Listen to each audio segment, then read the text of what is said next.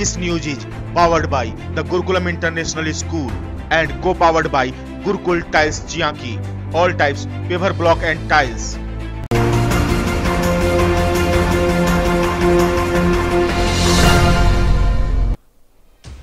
Banki में अवैध crusher पर प्रशासन ने बड़ी कार्रवाई करते हुए दो क्रशर पर बुलडोजर चलाकर ध्वस्त कर दिया।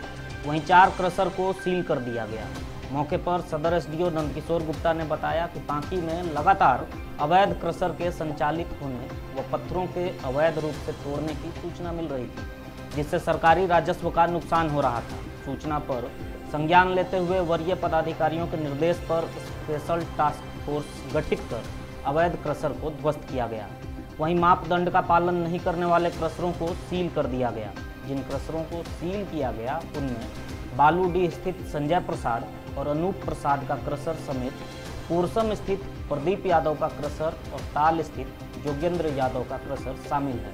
वहीं टाटीदीरी स्थित हारून रशीद व सुरेश यादव के क्रसर पर बुलडोजर चलाकर ध्वस्त कर दिया गया। अवैध रूप से खनन का निकासी हो रहा है या खनन का स्टॉक हो रहा है, अथवा जो क्रेशर ऐसा चल रहा है, जो इलीगल है, उस पर कार्रवाई किए जाने का आदेश। अनुमंडल स्तर पर अनुमंडल स्तरीय टास्क फोर्स बना हुआ है, जिसमें एस उसके अध्यक्ष होते हैं, बाकी जो डीएमओ है डीएसपी है फॉरेस्ट है, ये सारे लोग इसके कोऑर्डिनेटर ब्रांच है। तो आज पाकि में जो सूचना मिली थी कि जो भी इलीगल क्रैशर्स चल रहे हैं, उस पर आज कार्रवाई की गई है।